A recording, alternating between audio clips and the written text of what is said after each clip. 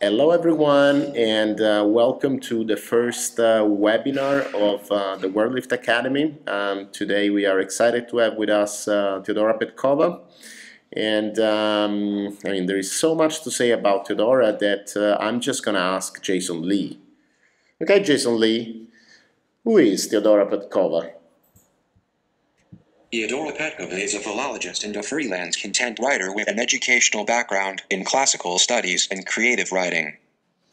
Okay, Teodora, I'm sure that you can make a, a way better introduction of yourself, and I'm, I'm completely counting on you and uh, uh, helping us understand how we can write effective copy on the semantic web and how we can become the best web copywriters in the semantic web world. Well, thanks for a stellar introduction. Um, I prefer to start talking about myself through my experience with WordLift. And because what you wrote here about me is perfect, but I would never be what I am now if I haven't met you and, and the plugin and all the linked data things that you're doing and creating. Uh, that was a challenge by you. You told me nobody is watching the entire webinar they are subscribing to. So we were both uh, challenged to create a, a one slide to go for the webinar. So here it is. Um, with this slide, I'm saying hi to all the Academy members uh, of WordLift's Academy. And I'm very happy to be the first speaker in this amazing project that you're starting. Um, let me start with uh, with a little bit of history. Uh, my WordLift story started a long time ago when I first heard about you and the team from Aaron Bradley, who is uh, an amazing SEO and who is the owner of um, uh, semantic marketing community on Google Plus. So I subscribed to WordLift as a beta beta user, and then many, many semantic web thoughts and things later, I ended up with writing a blog post about my experience with the plugin and my experience with uh, weaving text and data. And this is the main thing we're going to talk about in this webinar. Um, we're going to talk about effective content in terms of data and in terms of experiences. Um, as you can see in the slide, there, there are three dimensions to effective, which I will try to elaborate on uh, throughout the webinar. So, the first thing for effective, of course, which we're all in for, is more traffic. And more traffic when we talk about the new SEO on the blog, as I named this, is about leveraging semantic search, social media, and the new librarians. We'll talk about the new librarians later. Um, effective also means immersive, immersive experiences. Because if we want to be effective, we need to persuade in a very nice and delightful way the reader. We're not, we don't need to only think about data and quality. We need to think uh, very focused about the reader. So, um, the, the last thing about effective is enriching the web of data and people. That is uh, how your content is making the web a better place? And how are you going to write in an environment where people are more and more interconnected, more and more empowered by technologies and by the connections they themselves make be in between all this?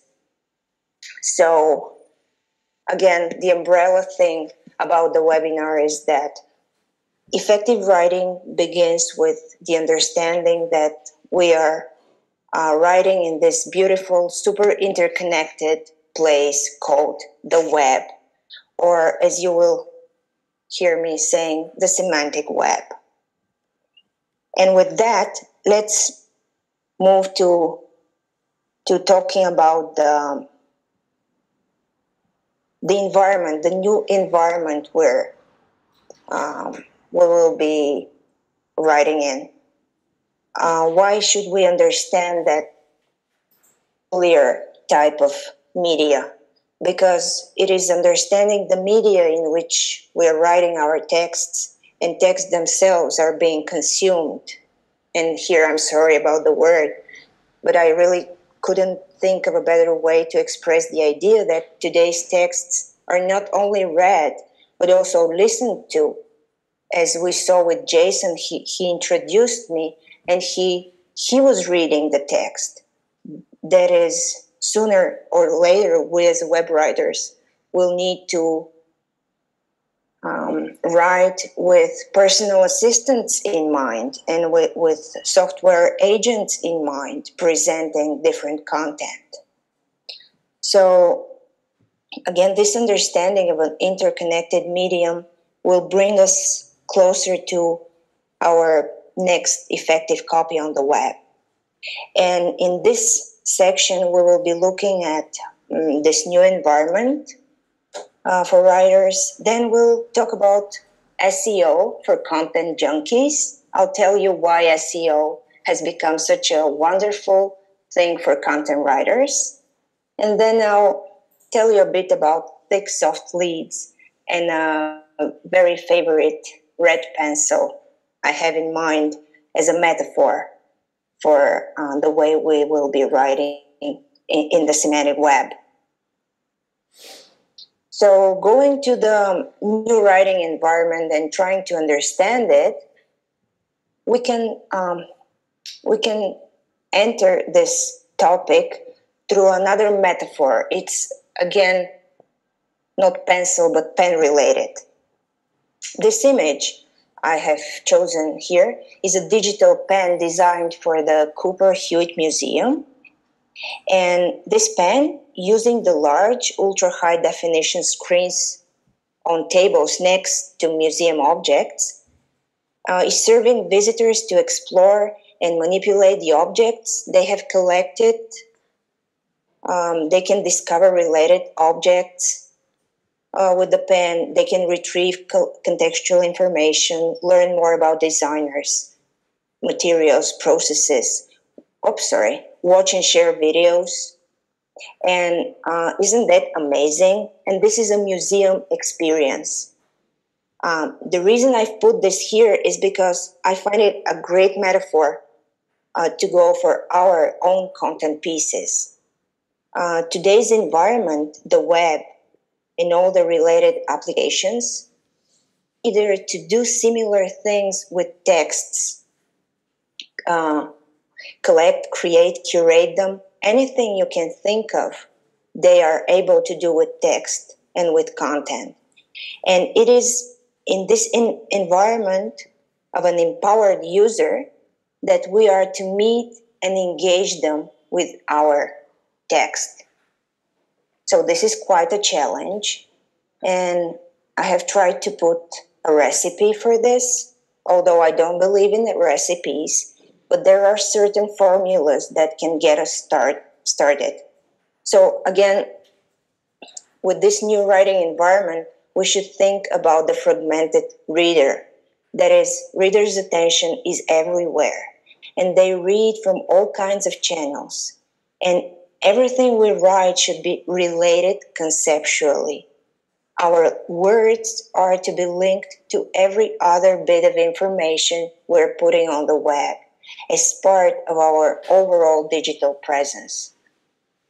It is also useful to think about um, creating text when you create a text uh, as if you are weaving a small part in a bigger fabrics and you need to to know the the big picture of the words that you are going to to use and the concepts that you are going to use to engage your reader. The second thing to keep in mind in, in this new writing environment is the uh, algorithmic audience that you are facing that your texts are facing. And um, that is in this environment, our texts fly on the wings of algorithms. think search, think recommendations, think even JSON. Who, who will be reading your text and presenting it to, to the searcher? Here, let me cite David Amerland, the author of uh, the book Google Semantic Search, which I highly recommend to everyone. Uh, so he's saying your texts need internal and external linking that is semantically appropriate to your content and business goals. And with that in mind, you can't write a bad text.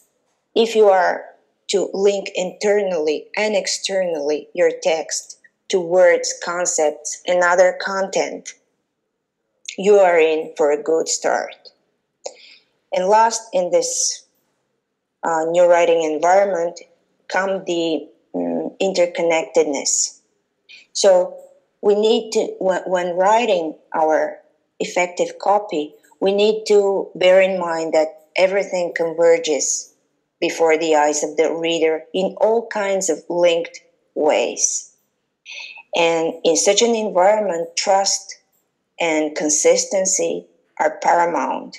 We need to add as much value to our texts as possible. And we need to learn to delight our users. And speaking about delight, maybe, maybe yes, maybe no, you will be surprised to see SEO from the perspective of delighting. So, what if I tell you that SEO is about delight your reader? It is as simple as that. And let me unpack this a little bit. Search engines are in the business of serving the best information, the most relevant answer, the personalized result that would allow users to do more and know more. And this is again a key concept. Uh, effective copy starts with making your reader know more as to do more. So, from that perspective, uh, the, the perspective of search engines aiming to serve the best information, uh, the optimization for search engines is actually optimization of knowledge. It is creating know more experiences. And, and we need to aim for that with each of our texts. And to get off a bit that abs- too abstract a view as much as I love it, let me, uh, let me tell you two words semantic search, two concepts, sorry, semantic search and galaxies of words. Um, put simply, semantic search is about computing. I'm still reluctant to use the word understand when it comes to computers. But again, uh, semantic search is about computing which content is best to be served based on its importance, similarity, originality in terms of the depths of experiences it creates. And of course, in terms of the links with which the text adds broader values. And by link here, I mean not only the, the, the, the link we're used to, the link that links documents, um, I'm talking about links between data. And I know uh, many web writers might be a little bit intimidated by this uh, link data talk, but it's nothing to be afraid of, and we should be embracing this um, understanding uh, it's it's easier to think about it as highly connected data or maybe as a fuel for our pencils uh, to fly at electric speed. I'm using Marshall McLuhan's electric speed here. Um, so again, I'll tell you more about linked data if you bear with me till the end of the webinar. Um, but linked data is nothing more than linked words. It's oversimplifying, but it's useful because we writers are used to think about linked words. We ourselves when we write a text, we are used to creating a galaxy of words. We're, we're all the time clustering words. If I'm to use the geek SEO speak for these clusters of words, these are topical hubs. And these are the, mm, the hubs that would allow the reader to straddle the domain of the thing we're um, writing about. And this is the way we're going to best introduce the reader to the domain and to, to, to the solution of his problem at the end of the day. Because um, what is a text if it doesn't help you? Know more. Again, to get back to that idea. And from and with these uh, perspectives, the galaxies of words and um, the the delighting your reader and the semantic search uh, isn't SEO bliss for the writer. We only have to just write our next best be, best text with uh, connected content in mind. To unpack this with uh, some practical advice, Mm, again, on, on an abstract level, semantic search for writers means we need to mix data with texts and dialogues, lots of dialogues. That is the engagement we need on social media or under the, the, the blog posts with the comments. And this is uh, data velocity and variety, which is really important um, these days. And the more contexts we can enter with our writing, the better. Uh, that is, the more uh, facets uh, we're going to create, and the more ways we're going to um, to get to the reader's attention. Which gets me to thick soft leads, and this is a an image I found on the web while I was preparing for, for the webinar. And all in all, this slide is about the interaction before the transaction and the importance of great content on the semantic web. Again, the, the semantic web is such a, an intertwined cyberspace where more and more things are available and we are to serve best our reader by conversing with them and by, by writing really good stuff. It's again converse before convert, talk before sale.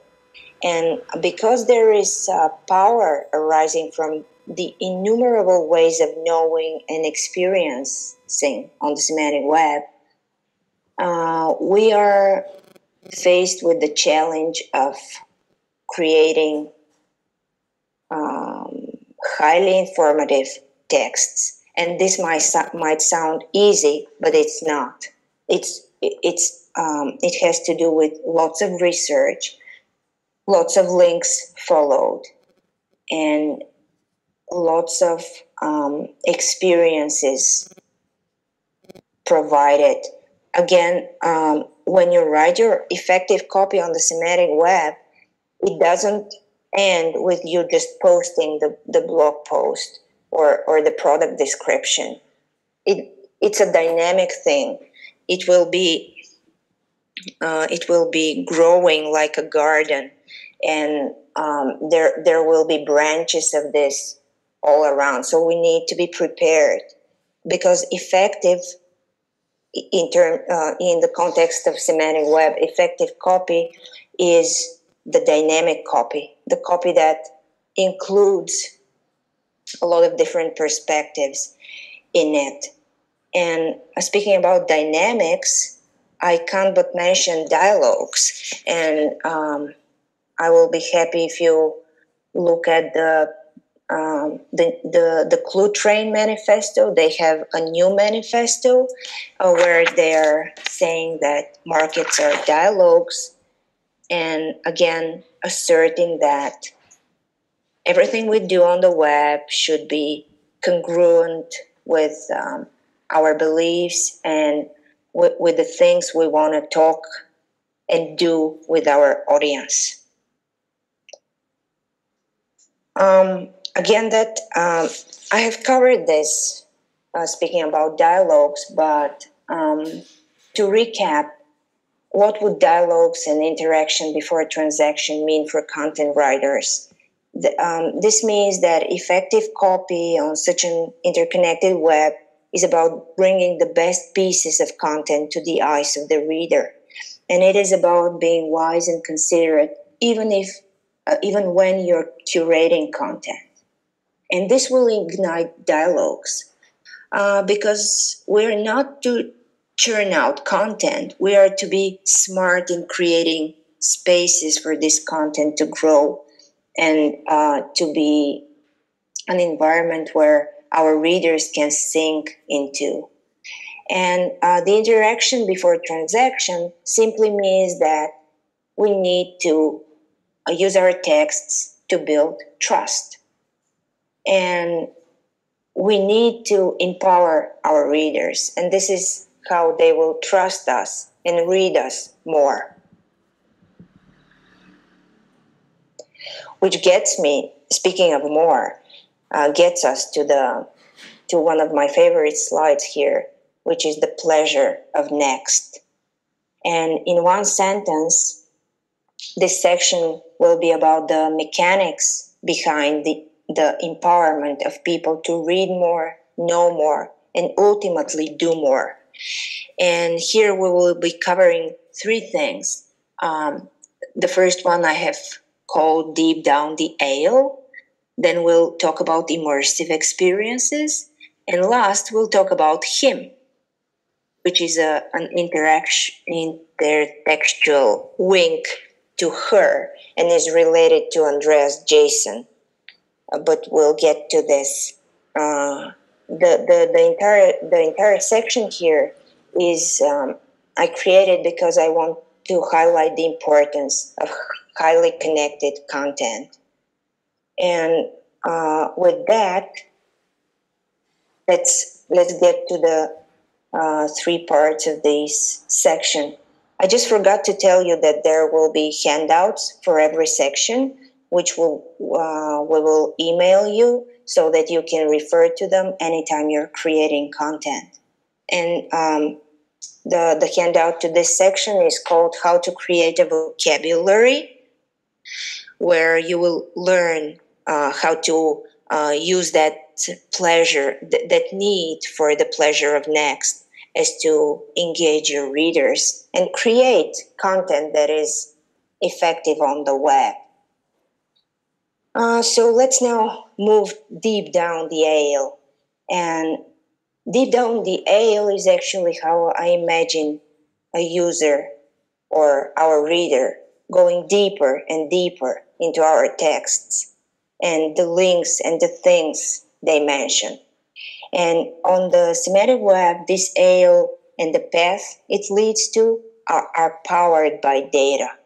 They are powered by highly connected data.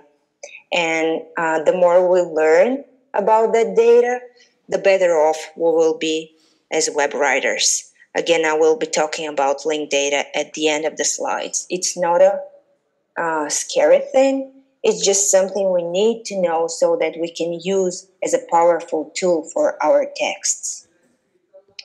Uh, maybe it's obvious that I firmly believe that connected data um, changes content creation and the cognitive processes related to it, together with the experiences we're able to provide for our readers.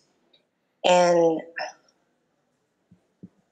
uh, to turn that into actionable advice, it simply means that uh, content consumption and content cognition on the semantic web are thinking about what drives our reader, what makes them click in both senses, and then writing this, just writing this. The question is how we as writers keep that narrative in a fragmented environment. And one answer, of course, is with consistency of the experience and the vocabulary we use. We can be recognizable by the terms we use and by the vocabulary we have. we can stand out with, with a certain way of understanding the world and presenting our domain.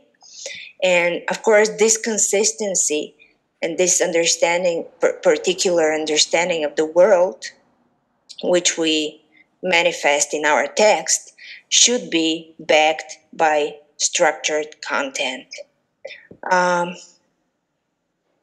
of, of structured content, I just want to invite you to think as nothing other but an ale with cabinets, with topics, sometimes with flying notes.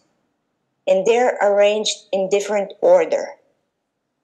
Uh, and they can enter different arrangements. The important thing is for you to uh, get really clear about how you will structure the things you're going to talk and write about. And here um, I want to recommend Mike Atherton's book, uh, Designing Connected Content, which is a great book, and you will um, really have um, a lot of references to start with. He's talking about structured content, not in not only in terms of linked data, which of course is useful, but uh, of structured content in terms of getting really clear what your words are and how you're going to assemble these different words into immersive experiences. And uh, with using the pleasure of next and what I call fluid text, again, I want to invite you to do something else, um, to um, think about your text as a part of the pleasure of next experience and a part of uh, the pleasure and the power of link. So, um, again, link in terms of uh, link to documents, of course, but also in terms of links to other data points and links in terms of portals for new experiences. And in a way, um, in this way, each word would become a a window to, to the next galaxy of meaning, a fluid entity ready to reassemble as an informational kaleidoscope, which is absolutely doable uh, in, in the new writing environment we're creating texts at. And uh, this is the so desired immersive experience made of. And this is our digital asset. And it should be our digital asset. asset. And the reason I'm saying digital asset and not just website is because um, uh, the link and the linked content empowers not only the navigation between websites and pages, but it also gives the word the ability to be recognizable by other content creators or interfaces uh, different than a web page. For example, an assistant or a search engine which wants to render results directly in the SERP, or, as you saw, JSON. Which brings us to this slide uh, of immersive experiences uh, again, creating effective copy is is not about thinking about the technology through which you will be uh, rendering this copy. It's thinking about how to delight your user and how to help them know more. So, what would make your user, your reader, immerse in your writing? Sorry about that again. Uh, I believe immersive experiences uh, are created by casting a wider net of your content. And um, this, on, on one hand, can be um, created, this net can be created with you thinking very well about the structure of, of your text. And on the other hand, with algorithms, as Andrea called them in one presentation, our new colleagues, uh, which are able to pick, recommend, and surface immersive content that is relevant and informative to our readers. So, if we have the structure and if we know what we want to convey as a message, the technology doesn't matter. What matters to us is um, the, the, the clear, the crystal clear idea of what do what do we want to say. Um, and again, uh, this wider net cast not only by us but also by by the algorithms through which the reader can be embraced when lost in a sea of information uh, is what we should aim for when writing effective copy. Uh, and it is um, this net of connected content that we can give our readers as a springboard for them to reach their goals. To recap, again, one thing wider net of content. And here the premise is simple. Think about how to weave a sticky digital tapestry and work in concert with your algorithmic helpers. Um, I have covered that in detail in the handout. I, I mentioned how to create a vocabulary, and uh, but just a little bit of explanation here.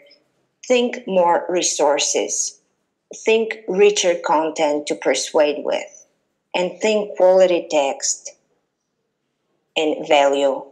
So uh, immersive is not only about being able to uh, about content that is able to um, embrace uh, the reader and make them know more. Uh, it is also about meeting the reader where they need that text. And this is easily said than done, but it works when you are when you're very clear with your structure. And and because we're talking about technology i just want to add a add the words of uh, the inventor of the world wide web sir tim berners-lee who says that the semantic web is not a technological invention but it is a social tool. So think about content first and then the, the technology you, you need to uh, create to, to connect that content will come next. And speaking about technologies let's talk a little bit about chatbots and about personal assistance assistants um, this is uh, a screenshot for, from the movie her You've probably watched it. It's about a, an artificial intelligence that um, is going beyond what we have imagined about machines. Um, the reason I put it here is because J, um, Andrea created his own her. He created him, Jason. And um, Jason is a technology that reads website content and serves it seamlessly to the user when asked for. And it can answer simple questions and figure out uh, what uh, the topic of the website is, for example, or uh, who is who, etc. Uh, and, and and this is a, a very a very important uh, thing to think about because the question is what does that mean for us as writers? And what does that mean for the users, for our readers? Well, very simply put, it means soon we will be writing the, the scripts for Jason.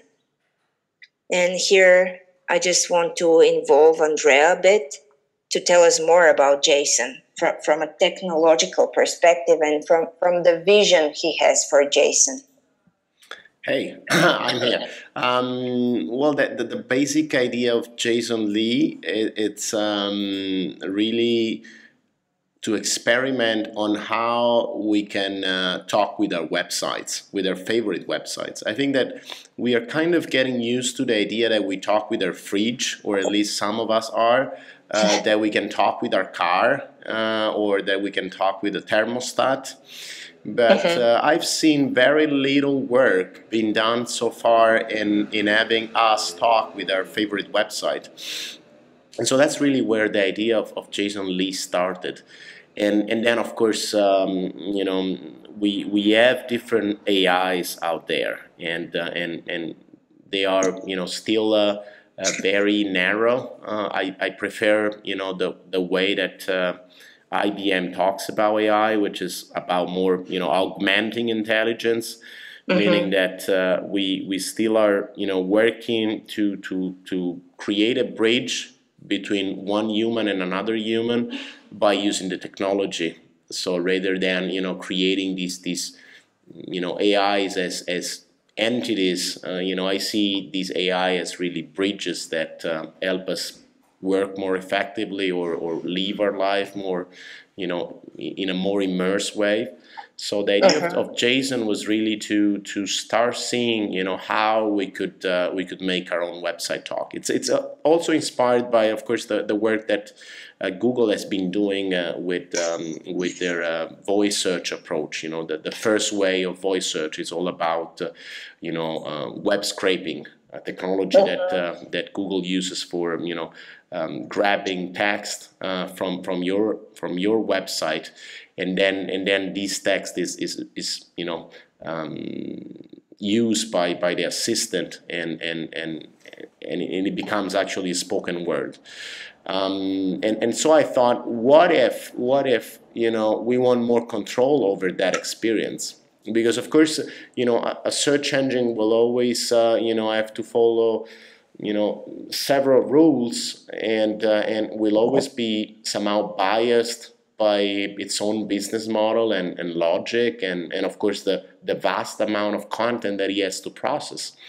But if, if I want to have something that it's more curated, you know, if I want you to be able to speak with your own website um, or, or your closest reader, you know, I'm, I'm a follower of your blog, Teodora, and I, I want to talk with your blog. I don't want to, you know, any intermediation between you know my my interest and, and and your content and so that's that's where jason lee comes comes into the picture because it's gonna be a companion that um, you can run uh, alongside wordlift that it's gonna leverage on the structured data that uh, you create uh, with with the plugin to answer as you say simple question you know at the moment we we're really focusing on the, the, the work around basic intents that we see are most uh, actionable for uh, you know the the average uh, web reader. So as you say, you know what what is this article about? What is this website about? Uh, who is behind this website? Uh, you know um, what is publishing the most? Uh, and uh, and then of course uh, a fact based. Uh, conversation, who's who, when is the next event, or you know, um, what is the topic that it will be discussed at the next events and things so on and so on and so forth based on you know the, the structured data so we follow the schema vocabulary and then out of the schema vocabulary we create uh, the, the intent. So that's really you know a Yeah. very big Th- that's that's kind of you know a, a, a very interesting thing to do since um, again i- in the context of JSON, writing effective copy is about uh, making uh, your texts talk well or clear Yeah, that's correct. I mean, there is a lot of um, um, care that you have to put into into creating the sentences, and uh, it's pretty much the same approach that uh, that uh, you described that works well for search engine. So content becomes conversational when uh, it's it's made of questions, it's made of answers to these questions, it's made of uh, simple uh, descriptive answers that provide uh, immediately something valuable to the user, whatever the question might be. Um, yeah, I, I really liked what you said about creating bridges. I think it's it's a, a nice metaphor for web writers thinking about effective copy, uh, to think about creating bridges between their text and their user. And when this bridge is JSON, this means lots of clarity. And, and, and this would uh, be good for both the reader and the writer because they, they will really get to know their, what they're talking about since they try to explain it it's in super easy conversational way i think you said uh, what i have as a recap but but but but still if we are thinking about json or about building bridges and creating conversational content we should think topics and then questions and answers and uh, what I want to highlight here is that we should mostly think about readers' time, about time well spent, be it on the screen or listening to a personal assistant. We, we need no fluff here, and we need uh, to think about our texts, uh, next frontier, which are the personal assistants, and uh, just be aware of these so called new librarians and again, to, to unpack this a little bit, uh, content consumption outside the page means making your content easy to read by people and machines. Um, minding the medium means um, not creating content for, for, for the next shiny thing, but rather thinking in concepts and not with, with one medium in mind. And that is ideating your content with many channels in mind. And again, this time well spent, I'm sure you know what that is. Uh, this is thinking about your reader first and then everything else, even data. This will, will come next. To, to write effectively in such an interconnected environment, which the semantic web is, is to write considerately. And um, because I believe preparing for the future and preparing for anything that that is supposed to be effective starts with knowing the past. Let me just take you on a quick trip in the 8050s. And with this, we will be wrapping up. And I will finally tell you what linked data is about me. Uh, but first, I want you to meet the Jacquard Loom.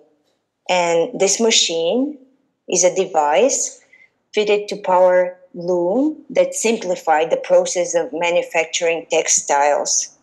Uh, it was controlled by a chain of cards and a number of punch cards laced together into a continuous sequence.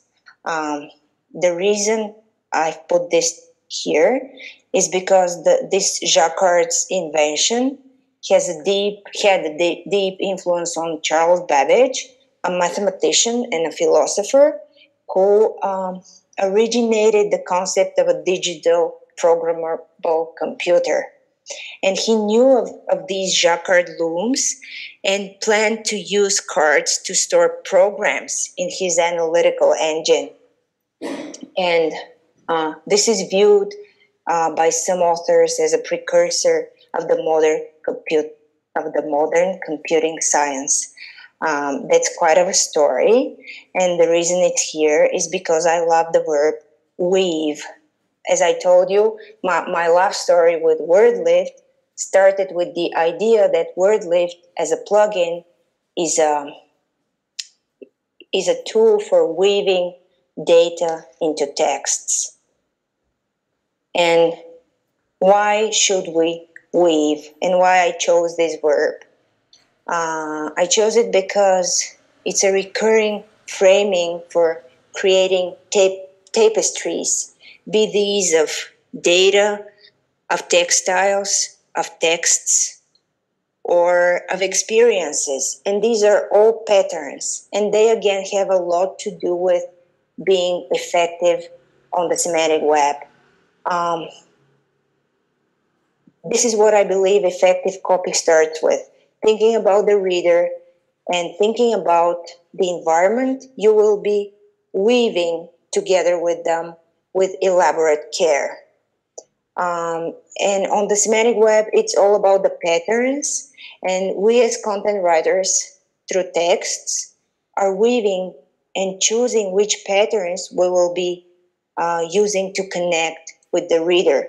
And, and we must be brave. To be effective, we must be brave because the interconnectedness we can weave now um, is a lot about data and every thought and text we have can become data. And um, meaning uh, we are to mm, you know seek to connect dots and view words as data and um, be be really considerate when linking things. Thinking about user experience in the first place and about uh, the, the, the structured content we are to present them as to help them um, make their way on this enormous web of information. Um, speaking about data, um, let me mm, show you something different. Uh, and this is the fabrics of you. Um, that's an art installation based on Hasan's Elahi's data. Uh, he uh, he's a, a, an artist uh, who is using his data to to show what implications each and every of our digital steps has on our fabrics, on our digital fabrics. And, and the, the, the curious case is that through data publishing, he turned surveillance on its head. He was um, he, he, was searched uh, by FBI, and he decided to to to help them to help them and just put everything he da- he does online his uh, location, what he eats, what he does, and thus he created an enormous fabrics of data. Uh, so the reason I, I have this here is because we all are Hasan now, and it is up to it is up to us to weave uh, the fabrics of data we want to show the world, and we want to weave together with other people, uh, which means that we're data pieces, pieces on the semantic web, we're data pieces, we're webby, and it is all connected. And we are, our perspective, our unique content is our valuable data. And we need to weave wisely words and links. And we are to weave our identities through what we put on the web and how we interact with others our texts included, and of course, always, always acknowledge interconnectedness within our texts. And um, because on the web and in cyberspace, we're made of connected data. There's nothing, um, you know, scary uh, about this here. We're all bits of data. And it's just like before data, we were all bits of letters and thoughts, and now we're bits of links, and and um, which finally brings me to the crazy little big thing called linked data, of which I will only speak a little bit because um, I don't want to um, to put the stress on uh, of effective copy on linked data Rather, I just want to say that linked data is a very important a concept to think texts through because uh, data is powerful, but linked data is even more par- powerful.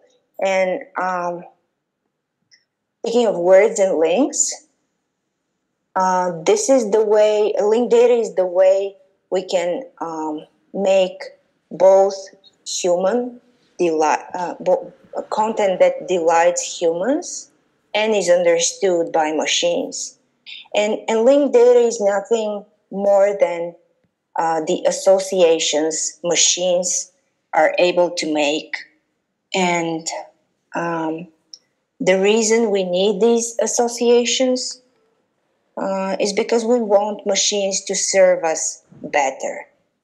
And in the context of writing, uh, it's again, linked data can be of enormous help when structuring your your thoughts and your content.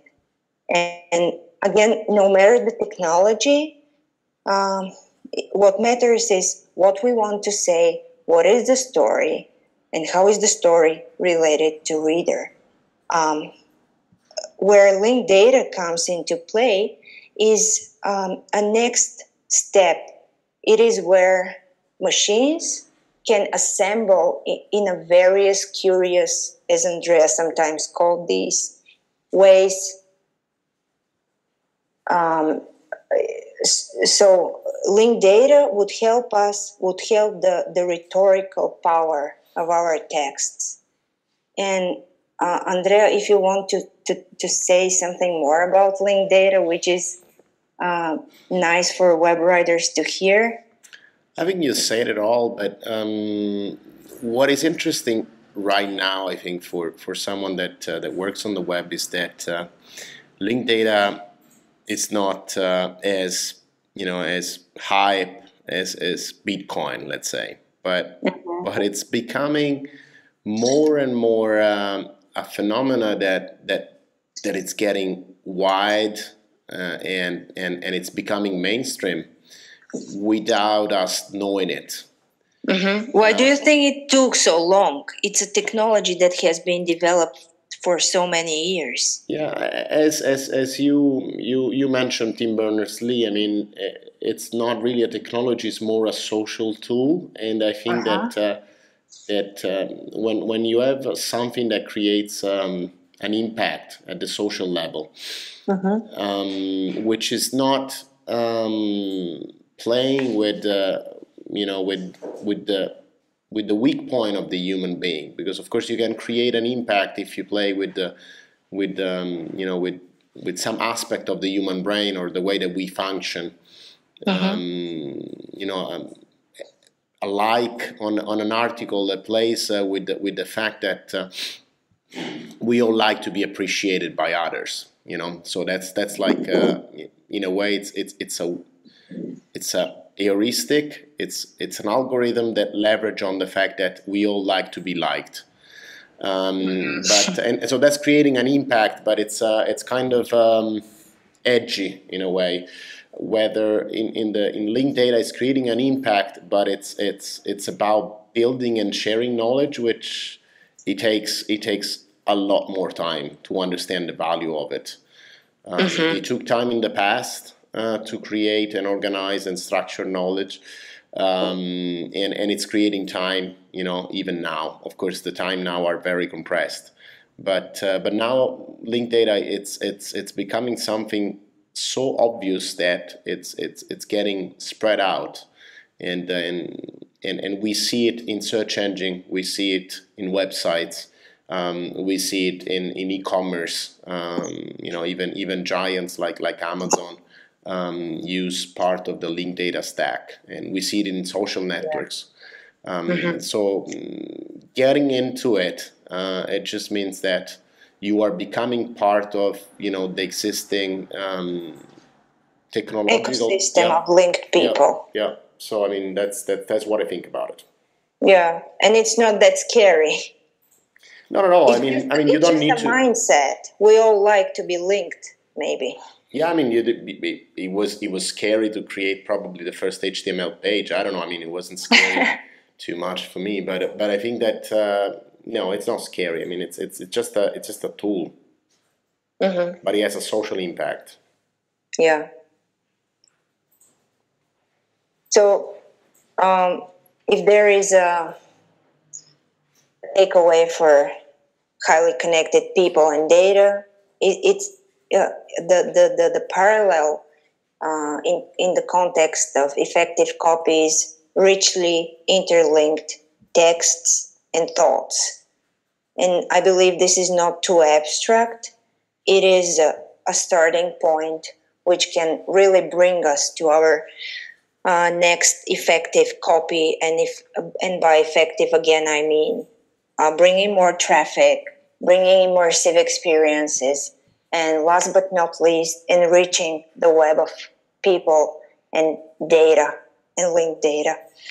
Uh, and with that, um, I want to um, bring that webinar to its end with an epilogue uh, with, um, for which I chose the so popular answer 42 by Douglas Adams.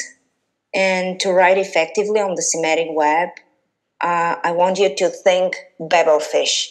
And let me, uh, let me read the, the, the quote I chose.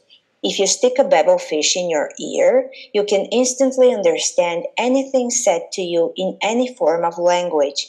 The speech patterns you actually hear decode the brainwave matrix, which has been fed into your mind by your Babel fish. So, if I am to leave you with some thoughts to inspire you to push the envelope when writing, let these be the thoughts about brain waves thinking and conveying messages and the tools and the technologies we use which come next. We have mentioned this several times, uh, Andrea included. And um, I want you to just uh, think, when thinking about effective copy, I want you to think about um, linked data as a tool and before that, I want you to be very aligned with your intent, which is to communicate and connect better and deeper, mostly through text, through an effective copy on the semantic web. Um, with this, I'm saying thank you and giving you three links to, to handouts, which you will be you can be using uh, when going for your next big web copy on the semantic web. Thanks again for having me, Andrea, and I hope this webinar was useful for you and will make you rethink the way you you are creating uh, web copy.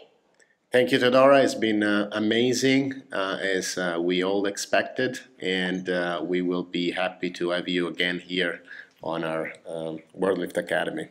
Thank you.